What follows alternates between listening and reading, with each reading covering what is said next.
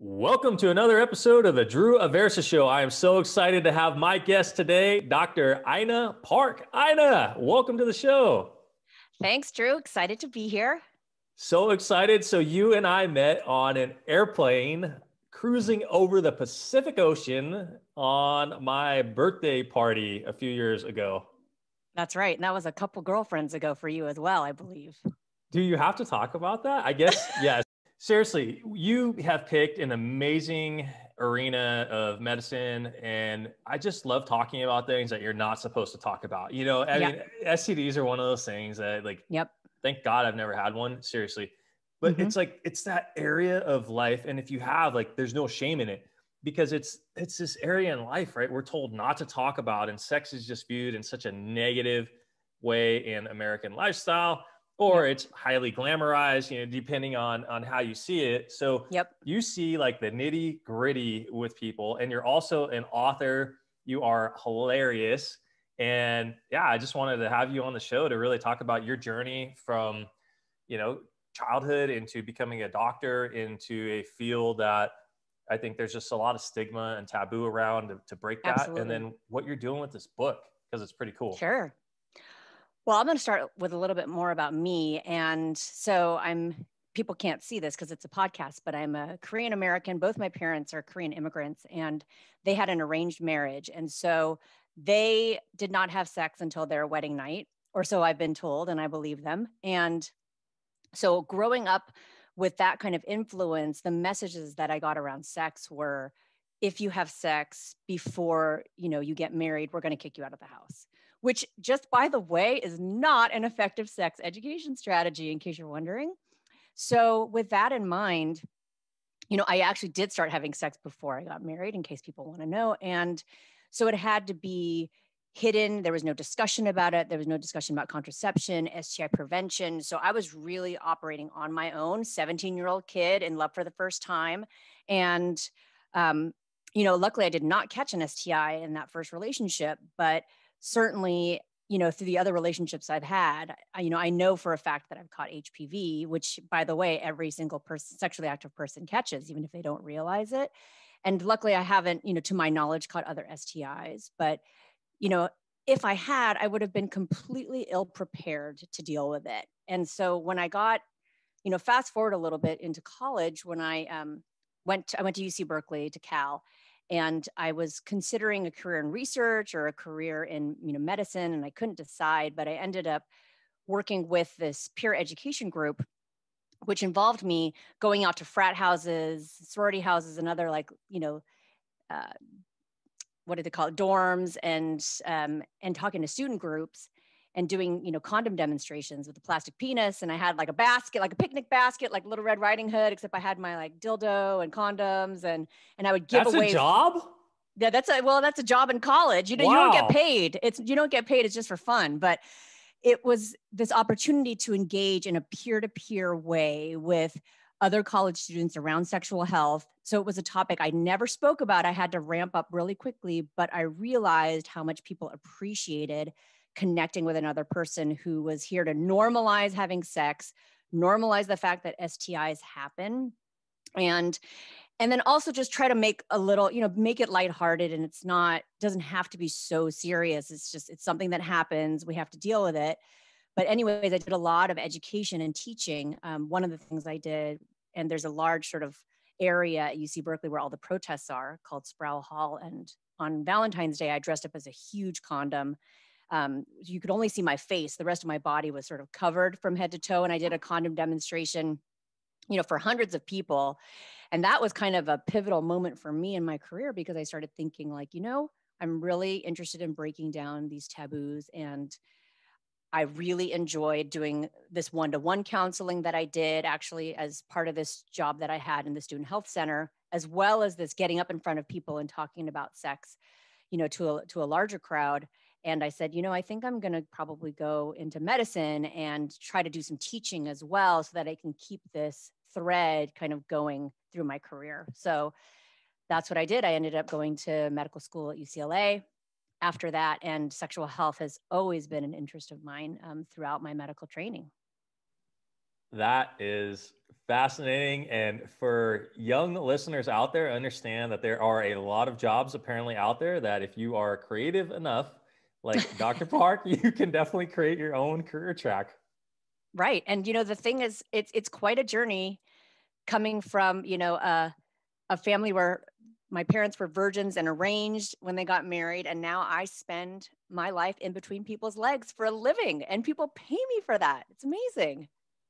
I I just you know when I met you on the airplane, I love you. Okay, I just have a lot of love for you because you know nowadays we're just in the society where you can't say this and you can't say that, and that's right. coming from the like top doc in. I mean, you are the top doc in this space in the U.S. You you work for UCSF, an amazing uh, organization, top medical research institute in the world, and this is the reality. Everybody, we have to be real we have to break these things down because sex has been around since our creation.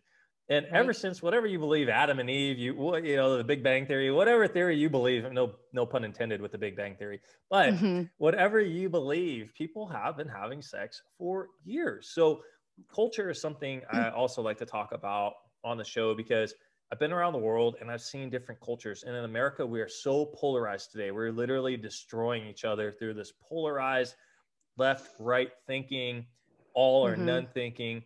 And when it comes to these sort of things, you know, one, there's a beautiful thing of intimacy that we don't talk about, you know, because the Hollywood mm-hmm. novels, it's this, you know, sex and the big masculine guy and the woman and this and that. Right. But there's a beautiful thing of intimacy. And then there's also the reality that we are a biological species at the mm-hmm. cellular mm-hmm. level. So yep. then there is this thing called disease. So, mm-hmm. how do we create a more positive sex culture in America where we can talk about, you know, the beauty of sexual intimacy, relationships, as well as getting help, you know, for disease and not making this such a stigmatized thing. Yeah. I mean, I'll tell you sort of what I'm doing personally and what I see happening out there, which I think is positive. Um, one of the things that I'm doing personally is, you know, with my research and with this forthcoming book that I'm writing is just trying to engage as much with folks in the public as possible. Um, in particular, one group that you wouldn't think needs to talk about STIs is parents, right? Many of them are stably partnered and they're not at risk for STIs, but they actually need to start having these conversations about sex, STIs, contraception, pregnancy, you know, all of these things with kids actually from a pretty early age. And the earlier that you start with an age appropriate conversation, the less uncomfortable your kids are going to be about it. So I actually spend a lot of time talking one on one to parents about you know sort of how to have those conversations and the fact that you have to have many many small conversations and it's not just a talk the talk you know what i mean that we hear about um, I think one thing that's happening that's positive out there is that the the growth of the internet and online content. I think in general, there's a lot of misinformation, but in general, it's nice that there are like really adolescent friendly websites like Scarleteen, for example, um, that have you know scientifically accurate content that is non-stigmatizing that's sex positive. So there is now like a lot of folks out there who are sex positive and who are putting their content online. So i think that that has been really helpful. So if a kid for example is confused about their sexual or gender identity i feel like there's something out there for them online that will make them feel like hey there's actually other people out there like me and there are you know actually places for folks to get accurate information. And not if everyone around you is saying you can't be that way. That's not normal. You're a freak et cetera et cetera i feel like there are spaces online that are counteracting that narrative that i think um, you know are helpful for kids coming up in the world today that i did not have and i bet you, you didn't have either when we were growing up in terms of normalizing you know different you know sort of sexual preferences different gender um, identities. All of that stuff i think was not discussed nearly as much when we were growing up no, I literally remember the talk. Like my talk was, I asked my dad, I was like, Dad, what does fuck mean? And he said, like, I'm like, he's like, uh, well, son, um, it can mean a very bad thing as far as like, you know, not good to say to somebody, and it can also mean sex. And then that led right. into the birds and the bees talk, and I was like, okay, okay, I got it, I got it. Like, oh, can right. we end this conversation? And then, you know, when I was 16 years old, I was riding along you know, with my stepdad at the fire department. and you know i was around grown men and you know some Yeah. of the guys were encouraging me to you know do things and Mhm. I, I think you know your role models too right it's like your worldview of who's around you you know what does it mean and and i just want to say too like kids listening is like you know the first time you do have sex with somebody like i hope it is special for you and Sure. you know i hope it's not a, a peer pressured thing Yep. like an activity like gym class that you have to do because it really is a bonding thing i think through the years for me i've learned you know those soul ties right of like who you connect with on different Yeah. things. And you know it, it just so take your time you know if you if, and if you have kids like you know just just make sure that they have the right role models too around them and healthy conversations about sex I think um, you brought up a couple of really important things. The one of them is something that we did not talk about as as kids, and I think you're actually a little younger than me, but uh, we didn't really talk about consent. And there was this assumption that, um, especially if you were a man, like you would always want it. You know, like if it's offered to you, of course you should do it, and um, and no one would need to ask you whether or not you actually wanted to.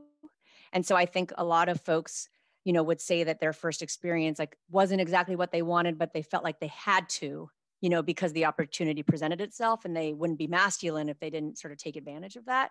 So i think um, you know that consent conversation is not just important for people who are raising girls but also people who are raising boys or you know regardless of the kid's gender identity to have that conversation about about consent and what that looks like. Um, yeah and i think role model you know role modeling behavior is is tricky if you don't feel comfortable you know with what you're doing yourself. And so sometimes people have asked me i don't really feel comfortable talking about this you know can my kid come and talk to you? And i say you know what? Bring it on. If there's somebody else or some other resource that you can point them to um, but if you give them a book if you show them a website say if you have any questions come talk to me. Even if you know you're not going to know the answers at least you can just say okay i know what you want to know. Let me go find that out. You know what i mean? And then come back and talk to you. Just leave the door open is what i'm saying is probably the most important thing. I love that, and I also love that you touched on men because you know a lot of my coaching, you know, is also with with guys, you know, and business leaders and whatnot. And you know, when when shit gets real, then we start talking about different things too. You know, one one of the things too, as as men in our society, you know, we're told you know not to cry, to toughen up, to do this, Right. to do that, and you know, there are times I think you know through my healing journey that you know I I did not want to be intimate, you know, and I was in Yep. one relationship where some boundaries you know, were a, a little bit pushed when I was healing. And I, I said, I, I don't, you know, I don't. And, you know, I was, you know, uh, told some very negative things. And absolutely it was, uh, you know, a very abusive borderline, you know, and I don't, I don't Mhm. think a lot of men talk about that where, you know, I, th- I think in our society, it's like, well, yeah, you're supposed to want to have sex all the time. But I know for me, you know, on the healing journey, there were moments in time where I just needed to be, you know, because of what happened years ago Yep. that, you know, I wanted my body to be my body. And uh, I think that's just an important piece that you touched on that, you know, in our, our, our day and age where, you know, in the Me Too movements and different things, I, I think not a lot of men share this. And I just want to Yep. share this with the audience because uh, it, it, it's very important. It is. It's it's so important and um and I think especially men who've experienced, you know, sexual assault or abuse um will feel like that that you know that they don't always have ownership of their body and then some people, you know, since we're also talking about STIs that when that enters when an infection enters the picture that people feel suddenly like violated or you know, unclean or something like that. And I really am trying to undo that feeling as well of saying this is just something that happens. The natural consequence of, you know, being a sexually active person is that sometimes we're going to get infected. It's the same thing with COVID. You know, sometimes just by going to the grocery store, walking around in the world, you might get an infection. It's it's really the same thing. You just happen to, you know, have your clothes off for this one. Um, but I want people to look at it in the same way as it's just it's just something that happens, um, and not to feel like their self their sense of self or their body it feels like a you know like violated because they uh, you know just happened to get unlucky and get an, infe- uh, an infection while they were having sex. So now we're to lighten the mood just a minute. And we're going to talk about your book. So, when I was on the airplane yeah. with you and we were sipping those Alaska Airlines signature cocktails, yeah.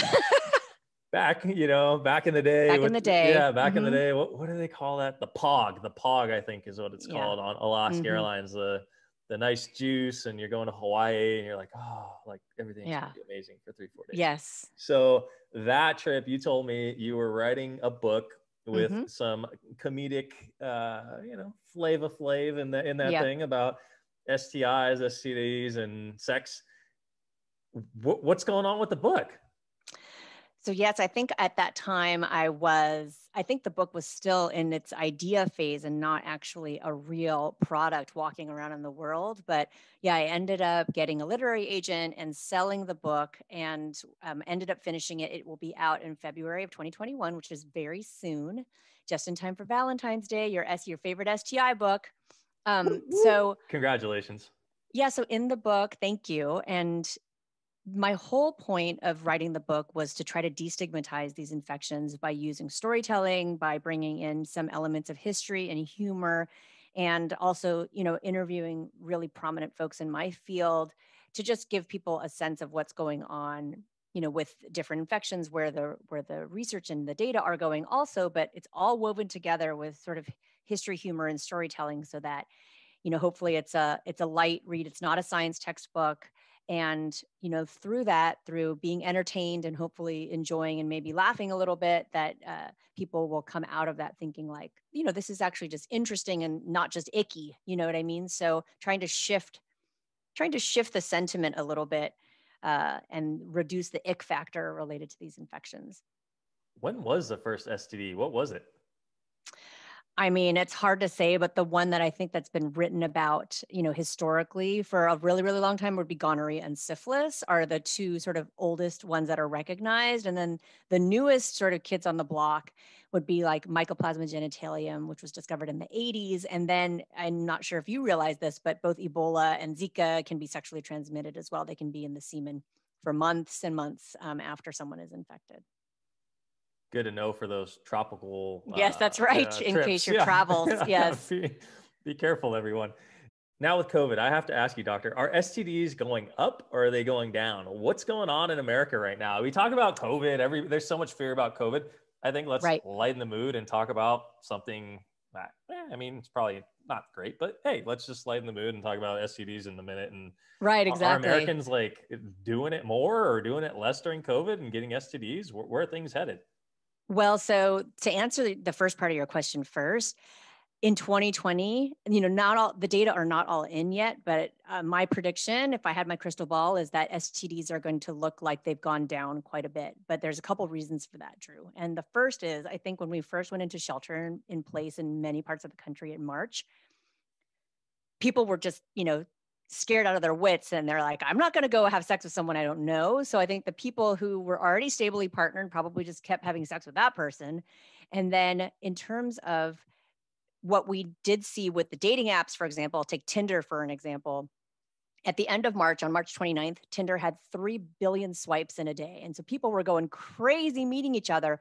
But a lot of those interactions were, you know, like video chats and video dates, and people were, experimenting with trying to get to know each other you know either through zoom or facetime or other sort of video platforms before actually meeting in person. So a lot of that was going on but just to give you some anecdotes from what i'm seeing with my own patients because i work in a sexual health clinic in san francisco is that uh, you know people can only hold out for so long. So one of my patients came in and he said i he's like i tried 5 months i didn't do it. And then he just broke down and he said i got on an app and i just started you know meeting partners and hooking up. And then he came in he had secondary syphilis which is sort of a more advanced um, stage of the early part of the infection. And and he was apologizing to me like i'm sorry i couldn't help myself. And i said no you know listen it's not about that. I know that people are going to have sex, and it, I, I believe that it's you know starting up again. And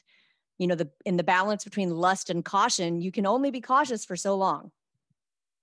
But um, one of the things that happened, Drew, is that because all these like swabs and plastics and the liquids that we use to test for STDs also are used to test for COVID, there was like a national shortage of tests so that you even if you had stuff going on you couldn't go out and get a test necessarily. So so that's going to artificially you know deflate our numbers. And you know i believe when the cdc releases their 2020 data it's going to look like we don't have a problem anymore but trust me we do. Wow that's some good stuff right there, Dr. Park. and if you are at home listening and you are bored and you're thinking about experimenting, how can people keep themselves safe? Yeah, that's a great question. So I'm going to tell you there's all kinds of stuff online about, you know, should I wear a mask during sex? And should, you know, if let's say it's a male and a female, like should the male enter the female person from behind with a mask on? And there's all kinds of things that you can play with um, but I'm going to tell you there, because of such close contact required for sex, there isn't a 100% safe way to do it, you know? And so we just got to keep that in mind. So I'm thinking about reducing the harm that might come around from a COVID infection, which would be spacing out your partners. That would be number one. And so let's say you had sex with someone, you know, on Monday and Tuesday, you're like on Wednesday, I'm not into that person anymore. It would be best to wait, you know, for at least like seven to 10 days before starting sex with somebody new. And if you get tested, you know, a week after having sex with the person, you know, just to make sure that you're negative, you can do that. So, and then of course, like the less people that you have contact with, the less likely, you know, to, you are to to contract COVID. But spacing out partners and reducing the number is pretty much the best thing that you can do. In Canada, um, I don't know if you are familiar with glory holes, Drew, but um, you know, it involves like a, a whole have never don't even know how they came up with the name glory hole. That yeah. you need to talk about in your book if you haven't, the historical context of that, because it makes no sense. It doesn't make any sense to me either. But um, you know, it's something that was you know was around quite a bit in my understanding like in the late 60s early 70s and i just don't um I mean, I'm not going into those spaces, you know, given that I'm a cisgender woman and don't have a penis, but like my understanding is that like the Canadian CDC, for example, put out guidance to say, hey, try a glory hole. And they actually put it in their official government recommendation, which I thought was incredible. And that's awesome because when you look at marketing or you look at advertising, yeah. right? And the government markets, they advertise all the time on different yeah, public health campaigns. We don't think of it that way, but it's advertising, right. marketing. And when you look at like Australia, some of the stuff that they, they do, European countries that yeah. are more sex positive. Yeah, it's more US, fun. It's more yes. fun. It's like this country is yeah. all about fear. And, yeah. you know, I mean, we talk about separation of church and state, but we are not. Like you look at the lobbying done right. by religious groups and all that in the US, there's yeah. no separation of church and state. And then we have this fear and we have all this stuff, you know, and, and I have my faith. I go to church. I, I you know, so yep. obviously people will say different things in the comments, whatever. Like I don't care about trolls. So the, the reality is we got to be real. Like we're talking about things that have been around for years and years and years. The right. other thing that I think you just hit on is the notion of safety, right? And where we put our resources. So literally people are getting COVID tests all the time. And before healthcare systems, they don't want to cover you for an HIV test. Like it's super expensive for a lot of people. So people maybe get that every six months or they get it a year and then they're sexually active. And then the spread goes on and on and on instead of treating it just like a COVID test. No big deal. You want to get swabbed, tested, boom, for free.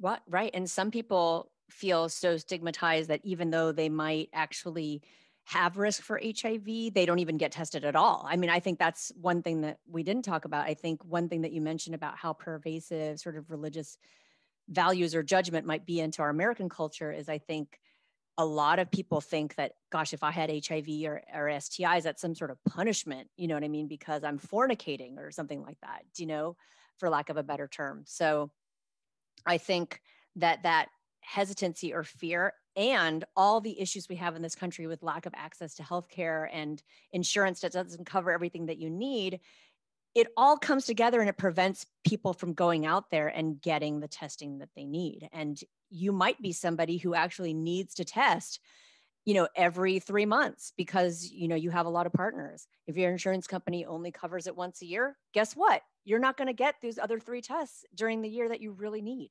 So that's why as well you know there are networks of different free public health, you know, sexual health clinics.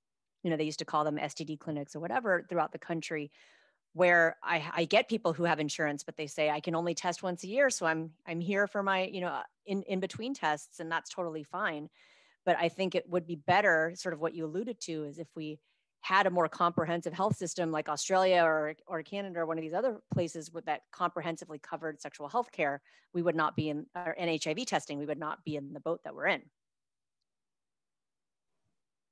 And how do we stack up compared to other countries? Are we higher than other countries? And I'm oh, talking yeah. about developed world, you know, developed countries, yeah. right? Because people always want to say, "Oh, that country's not this and that," but I'm talking about Canada, Australia, you know countries in Europe that are at the top, you know Sweden, Switzerland, those, those kind of places. How do we stack up compared to other countries when it comes to you know health and sexual health?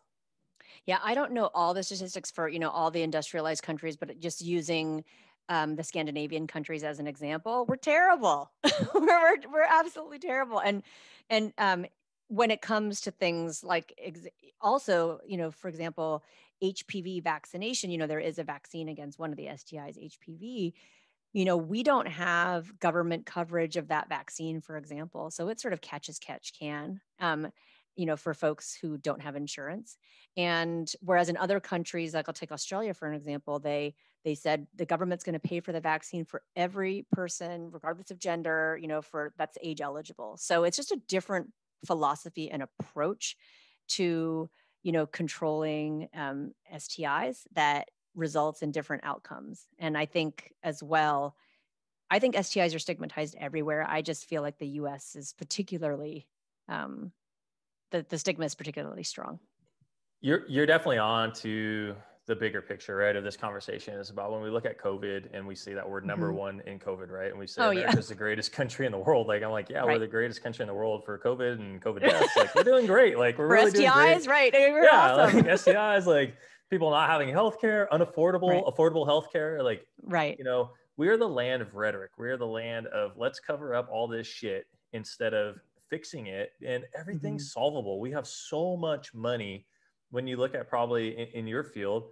I mean, how many millions to billions of dollars are spent on researching STIs? And then, and then we don't talk about the right messaging or the right things to have the right culture, you know? So it's, we spend all this money or even COVID, you know, at the start, we, we had literally elected officials in every other county, you know, going, oh, don't wear a mask, wear a mask, don't wear a mask. Like, right.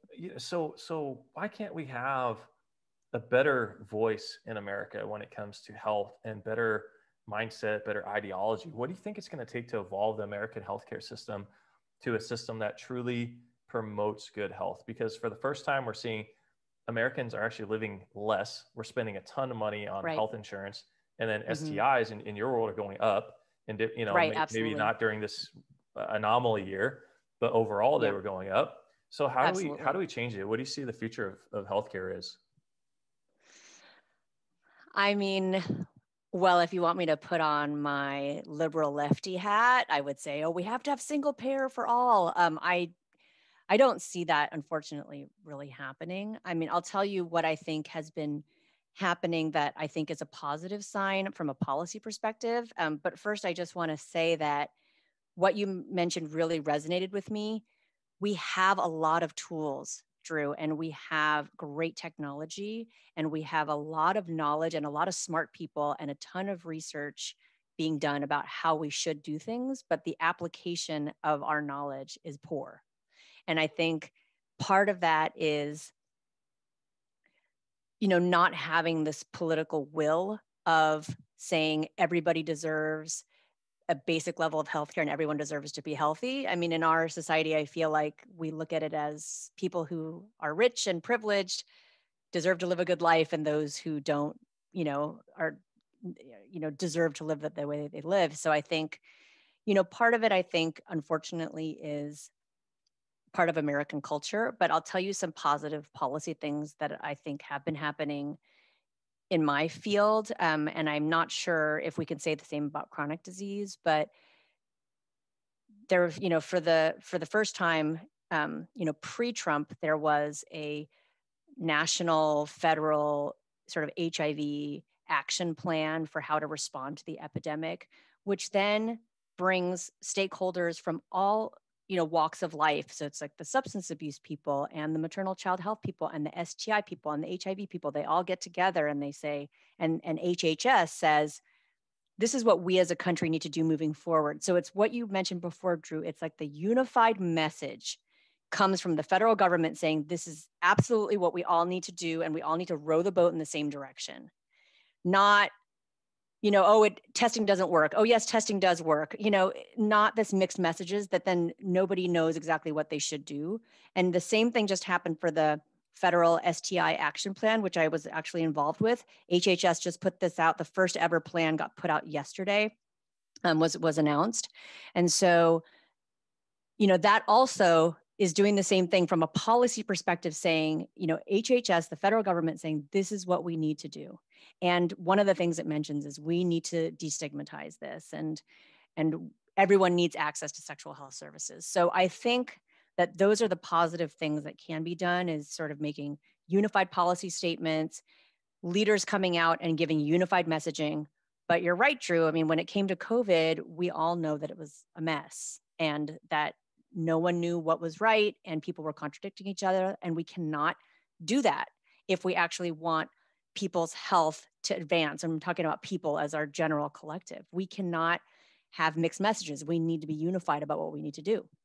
I love it. And you know i think it, it goes to into, into you know whether it's sexual health or whether it's wearing a mask or not wearing a mask you know it really gets in that big picture of are we a mentally sound and healthy nation right? Because you know, when, when people are conflicted to this level, I mean, how, how do you, whether it's talking to your child about sex or whether it's talking, you know, about wearing a mask or workplace, you know, wellness, different things like that, right. we're, we're so, we just fight each other so much in this country. And that's really my mm-hmm. hope that mm-hmm. America gets back to a country where you know we really realize and recognize the gifts that we've been instilled with with wealth mm-hmm. with all these things that people we can accelerate all these things. We don't need to live you know 70 years of advocating and fighting for things that we could literally i mean elon musk can send a tesla to outer space. Why can't right. we fix the healthcare system? Right exactly.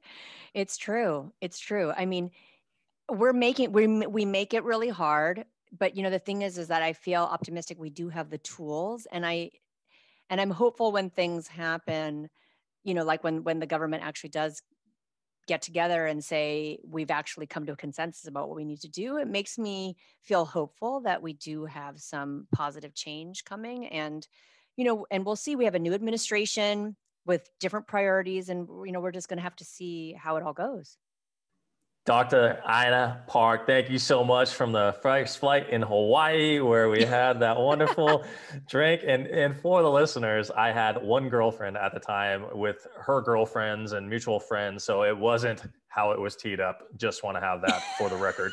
but it was a wonderful experience meeting you. It has been a wonderful experience having you in my network as a friend, as a colleague, as a thought leader in your space. And I'm so proud of you for your book being uh, released. And what was the name of it one more time for the listeners? And how can they get your book? Where is it at? And how can they connect with you if they want to have you come speak at a conference or a school and do the things that you do so well?